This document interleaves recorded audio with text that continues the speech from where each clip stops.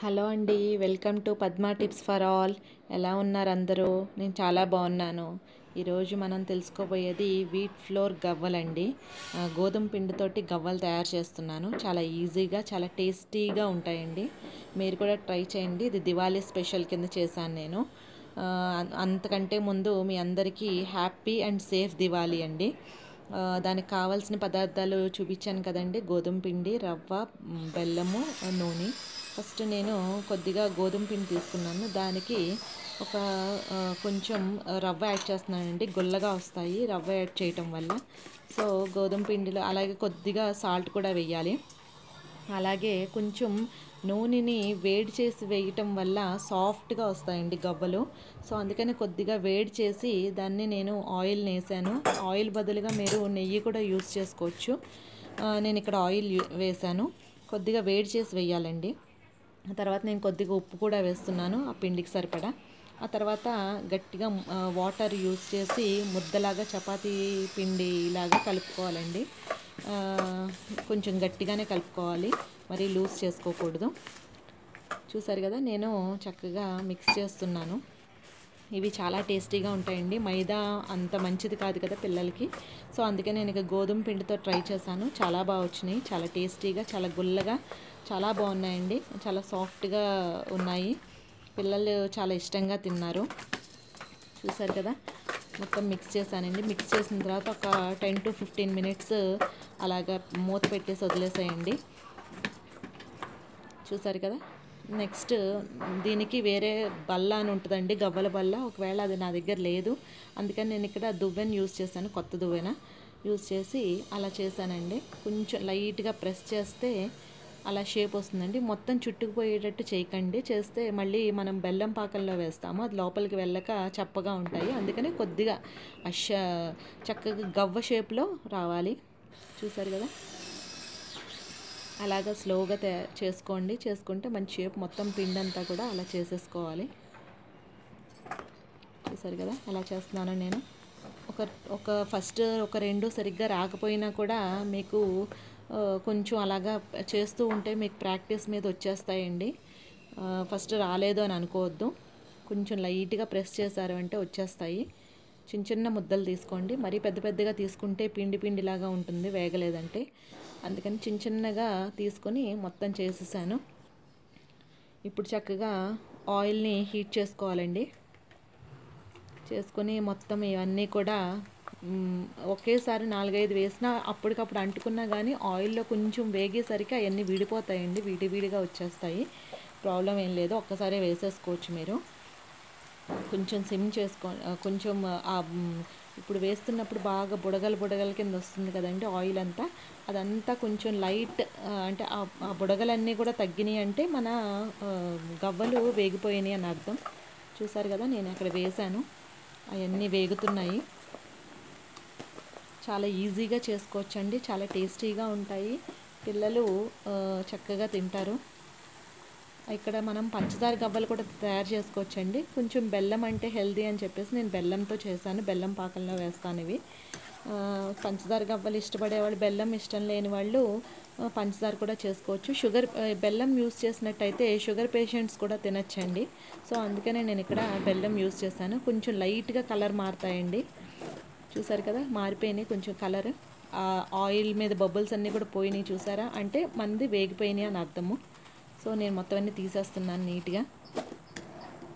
మొత్తం అన్నీ తీసేసేయాలి. నీట్గా తీసుకుని పక్కన ఒక ప్లేట్లో వేసేసుకోండి. నీట్గా. చూసారు కదా? మొత్తం అన్నీ తీసేసానండి. నాది గవ్వలన్నీ కూడా వేగిపోయినాయి. మళ్ళీ వేస్తున్నానండి. నేను ఇంకొక వాయి వేస్తున్నాను. చూసారు కదా? ఫస్ట్ మనం వేస్తున్నప్పుడు బాగా ఎక్కువగా బబుల్స్ లాగా వస్తున్న ఆయిల్ మీద. అవి ఎప్పుడైతే వేగుతాయో ఆ బబుల్స్ అన్నీ కూడా పోతాయండి. అంటే లైట్గా వస్తూ ఉంటాయి. సో దాన్ని బట్టి మనం తెలుసుకోవచ్చు. అది మనవి ఏగిపోయినాయి అని అర్థం. చూసారు కదా? గవ్వలన్నీ రెడీ అయిపోయినాయండి. ఒక టిష్యూ పేపర్ మీద వేసుకుంటే లైట్గా ఏమన్నా ఆయిల్ కూడా ఎక్కువ పీల్చవండి ఇది గోధుమ పిండి మూలని.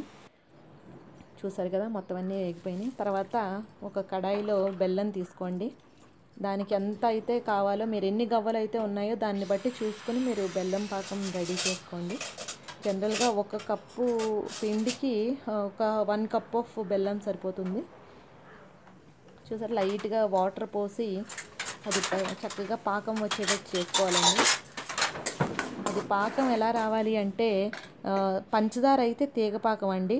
అదే బెల్లం అయితే మటుకు ఉండలాగా అవ్వాలి. మనం వాటర్లో వేస్తే ఒక బాల్ లాగా అవ్వాలండి. అప్పటిదాకా పాకం అవ్వాలి. చూసారు కదా బెల్లం వేసాను. అందులో కొద్దిగా ఎలాచీ పౌడర్ కూడా యాడ్ చేయాలండి. ఎలాచీ పౌ చూసారు కదా ఎలాచీ పౌడర్ కూడా యాడ్ చేస్తున్నాను. మంచి స్మెల్ ఫ్లేవర్ కోసం. ఇది చక్కగా మెల్ట్ అయ్యి బాగా మెల్ట్ అవ్వాలి. మెల్ట్ అయిన తర్వాత పాకం రావాలండి. వస్తుంది. మ్యాక్సిమమ్ ఇది కుక్ అవుతుందండి. ఇంకొంచెం సేపట్లో మన ఉండపాకం వచ్చేస్తుంది మనకి. సో అలా రాగానే స్టవ్ ఆఫ్ చేసేయచ్చు. చూసారు కదా చక్కగా పొంగు వస్తుంది బెల్లం పాకం మొత్తం. దీని ఫ్లేవర్ చాలా బాగా వస్తుందండి. బెల్లం పాకం పెడుతుంటే దాంట్లో వచ్చే స్మెల్లే స్మెల్ చాలా బాగుంటుంది. చాలా అప్పుడే తినేయాలా అనిపించేలాగా ఉంటుంది. ఈ బెల్లం పాకం మనం దోశల్లో కూడా వేసుకొని తింటే చాలా టేస్టీగా ఉంటుందండి. ఎప్పుడైనా ట్రై చేయండి మీరు కూడా. బెల్లం పాకము విత్ దోశలు. అట్ల తద్దికి జనరల్గా మేము అలా తింటామండి. మొన్నే అట్ల తద్ది అయ్యింది కదా. మేము అలాగే తింటాము. దోశలతోటి బెల్లం పాకం పెట్టుకొని తింటాము. చాలా బాగుంటుంది. చూసారు కదా మనం బెల్లం పాకం మరుగుతుందండి. మ్యాక్సిమం అయిపోవచ్చింది. నేను చెక్ చేస్తూ ఉంటాను అప్పుడప్పుడు. ఇంకా కొద్దిగా అయితే సరిపోతుంది. గవ్వలు పిల్లలు తినడానికి కూడా చాలా ఈజీగా ఉంటాయండి. చేత్తో పట్టుకుని వెళ్ళి మా పిల్లలు అయితే చేతులతోటి రెండు చేతులతో పట్టుకొని చాక్లెట్స్ చాక్లెట్స్ అని చెప్పేసి తింటూ ఉంటారు. అది చాలా ఇష్టము. చూసారు కదా ఇంకా కొద్దిగా అవ్వాలండి. కొంచెము ఇంకొంచెం బాగా అయితే బాగుంటుంది. లైట్గా అవుతుంది ఇప్పుడు. ఇంకా కొంచెం స్టిక్కీగా ఉంది కదా. ఇంకా కొంచెం లైట్గా ఒక టూ త్రీ మినిట్స్ ఉంచేసామంటే అది ఉండపాకం వచ్చేస్తుందండి.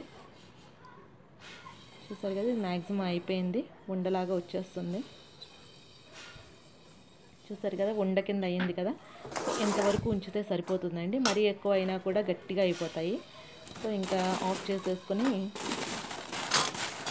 ఇప్పుడు నేను చేసిన గవ్వలన్నీ ఉన్నాయి కదండి. ఇవి వేడి మీద ఉన్నప్పుడే మనం అందులో వేసి చక్కగా బాగా తిప్పేసామంటే బాగా కలిపామంటే మొత్తం ఆ మధ్యలో కూడా వెళ్ళి ఆ బెల్లం పాకం అంతా చాలా టేస్టీగా చాలా బాగుంటాయండి. చక్కగా మొత్తం మిక్స్ అయ్యేటట్టు కలుపుకోవాలి. చూసారు కదా నేను కలుపుతున్నాను. మొత్తం అంతా లోపలికంతా వెళ్ళేలాగా కలుపుకున్నారు అంటే ఎక్కడా కూడా చప్పదనం ఉండదు. మొత్తం అంతా స్వీట్ స్వీట్గా ఉండి చాలా బాగుంటుంది. సో కొంచెం జాగ్రత్తగా కలుపుకోండి కలుపుకునేటప్పుడు. చూసారు కదా నేను కలుపుతూ ఉన్నాను. మొత్తం ఎక్కడా కూడా ఆ జ్యూస్ లాంటిది ఎక్కడైనా మీకు తేడాగా అనిపిస్తే అక్కడ వేసి కలపండి. నేను చేస్తానండి గవ్వలు దివాళీ స్పెషల్. మీరు ఏం చేస్తారో నా కామెంట్స్ ద్వారా చెప్పండి.